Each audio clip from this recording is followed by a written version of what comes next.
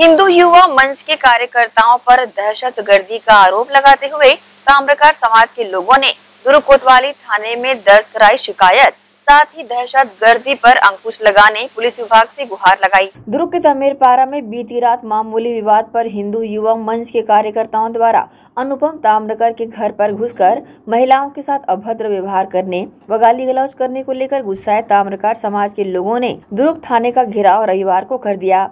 और हिंदू युवा मंच के कार्यकर्ताओं के द्वारा घर में घुसकर दहशतगर्दी फैलाने पर कठोर कार्रवाई किए जाने की मांग कर डाली। इस मौके पर पीड़ित अनुपम ताम्रकार ने घटना की जानकारी देते हुए बताया कि मामूली कहासुनी पर हिंदू युवा मंच के 150 से 200 कार्यकर्ता हाथों में डंडे लेकर उसके घर पहुँचे, जहाँ उन्होंने अनुपम ताम्रकार की अनुपस्थिति में उनके परिवार की महिलाओं से अभद्र व्यवहार किया। ताम्रकार समाज के लोगों ने कहा कि हम स्वयं हिंदू होने के बाद भी हिंदू प्रताड़ना का शिकार हो रहे हैं। उन्होंने ये भी कहा कि ऐसे दहशत गर्दी फैलाने वाले संगठनों को प्रतिबंधित किया जाना चाहिए। कल रात को हमारे भाई के नाम पे मतलब वही नाम लेके डरा धमका रहे थे और घर में घुस गए थे। करीब सौ, डेढ़ सौ के करीब थे हिंदू युवा मंच वाले। कोई नया चाहिए, ऐसे कैसे किसी के भी घर घुस किसी के मतलब बेटे को, भाई को आप कैसे मारने की धमकी दे सकते हो? अगर बाहर कुछ हो रहा है तो आप बाहर वहाँ पे टैकल करो ना, घर अंदर कौन आता है? मतलब हिंदू हो के हिंदू ही माँ बहन को आप सेफ़ नहीं रख पा रहे हो तो काहे का हिंदू युवा हाँ, मैं विनीत ताम्रकर तमेरपारा निवासी।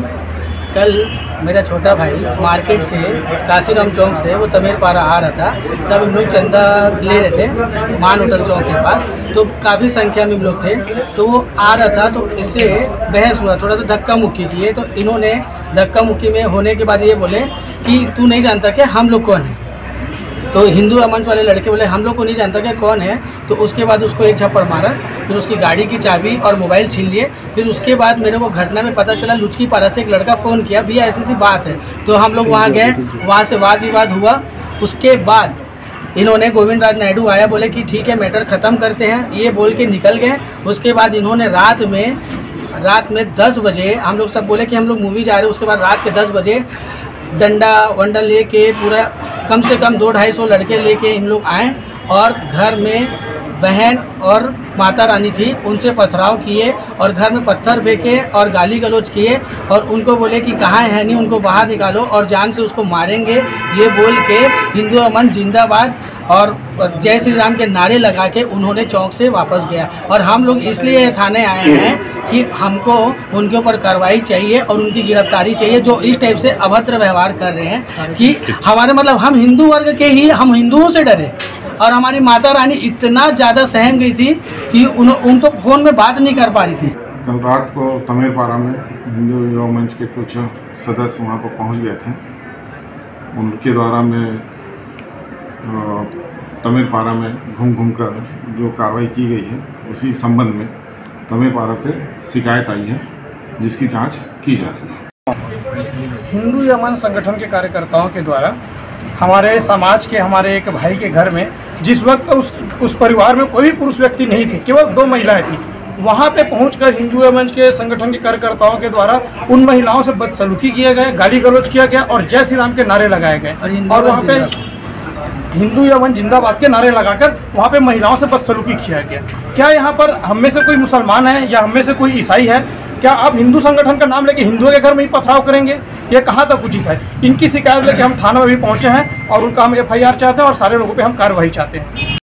विवाद यहाँ पे ये था, एक हमारे भाई के जब मार्केट में बाइक से जा रहे थे तो उनका व्यक्तिगत विवाद हुआ।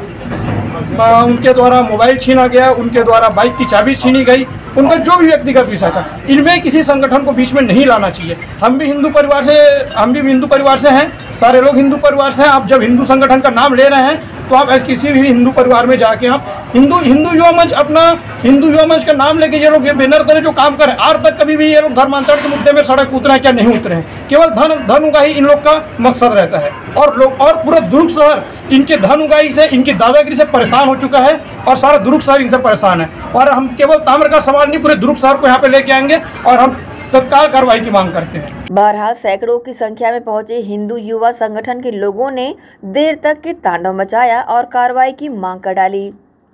ग्रैंड एशियन न्यूज़ के लिए दुर्ग से नसीम फारूकी की रिपोर्ट।